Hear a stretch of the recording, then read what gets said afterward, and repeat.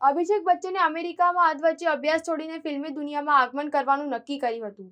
અભિષેકને silver screen પર debut કરાવવા માટે ફિલ્મકારો વચ્ચે હોડ લાગી હતી. તે સમયે અનેક ડાયરેક્ટરે તેને ફિલ્મો ઓફર કરી હતી. ભારતમાં અમિતાભ બચ્ચનના નામે દાયકાઓ નહીં, પણ આખો યુગ લખાયો. અમિતાભની સાથે જયા બચ્ચનનું નામ જોડાયું. બચ્ચનના ફિલ્મી ઉત્તરાધિકારી બનવાના અબ્રખા સાથે અભિષેક બચ્ચને ફિલ્મી જગતમાં કદમ માંડ્યા.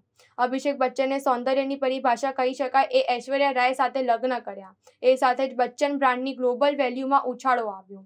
બચ્ચન બ્રાન્ડ સાથે જોડાયેલ દરેક નામ સમય સાથે શક્તિશાળી બન્યા પણ અભિષેક બચ્ચનને કોઈ તારી ન શક્યું. અભિષેક બચ્ચને અમેરિકામાં અધવચ્ચે અભ્યાસ છોડીને ફિલ્મી દુનિયામાં આગમન કરવાનું નક્કી કર્યું હતું. અભિષેકને સિલ્વર સ્ક્રીન પર ડેબ્યુ કરાવવા માટે ફિલ્મકારો વચ્ચે હોટ લાગી હતી એમ કહી શકાય.